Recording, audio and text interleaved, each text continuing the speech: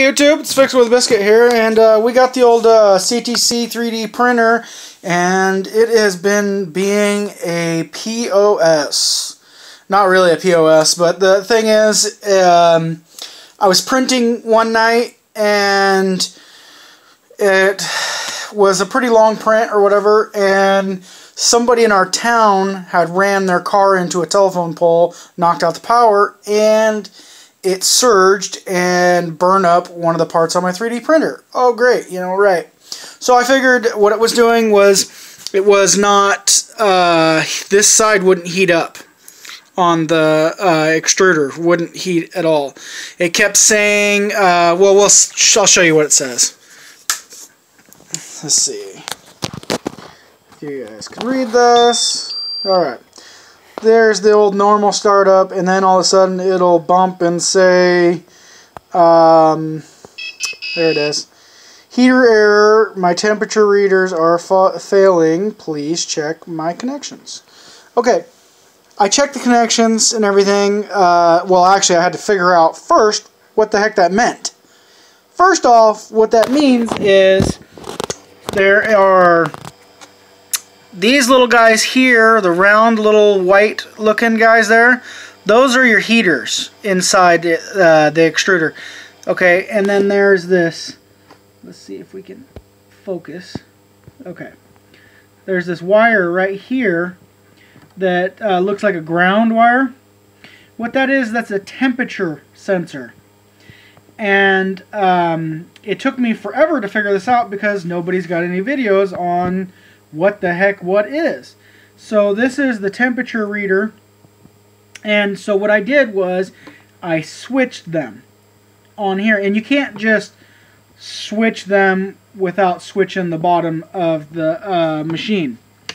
So uh, I'll show you where on the CTC 3D, you know, the 3D printer here, where it is.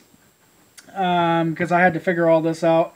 At first I switched the um, heating elements and that didn't make a difference. So did the old process of elimination. So let's flip her on her side there and you have to take off uh, let's see sorry you have to take off this cover and this cover sits right here uh, come on alright this cover sits right here. You take it off, and yeah, it gives you the motherboard and everything. So I followed all the wires down through the loom that comes through here, and it goes right to this green box right here. As you can see, it's a pain in the butt to get to.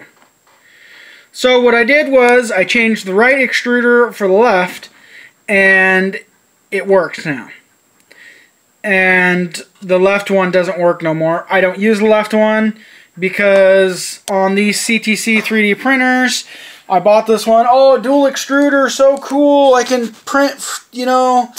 Um, with either one, no, not the case. The case is with the software that it comes with, and it's very limited.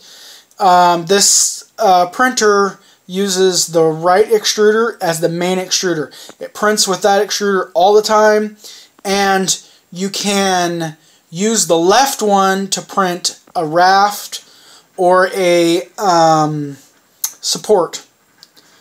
Uh, that's all I've been able to get it to do. I cannot get it to print, be a main print head at all.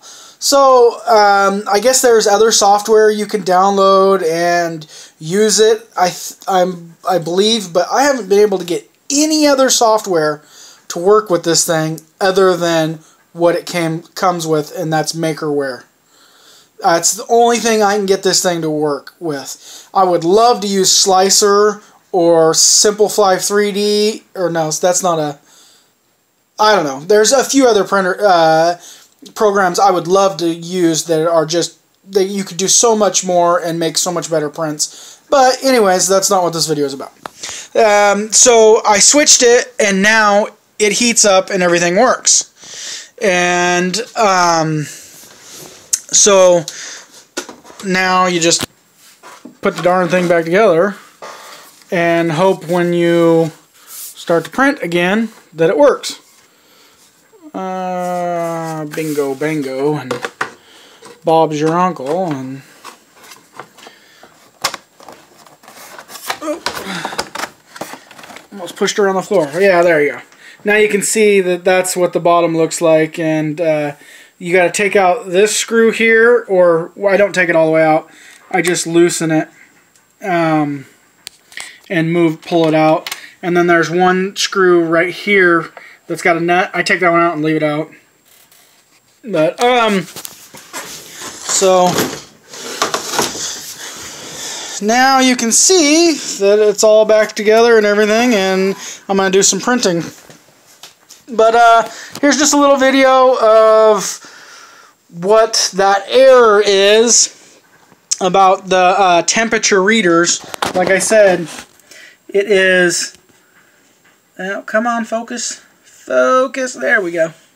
It is these guys here, the uh, with this uh, bolt. Um, yes, and that's your temperature reader. This one on the left is bad now. I need to change it all the way out. But for the most part, I've just been using the left extruder and all that as parts.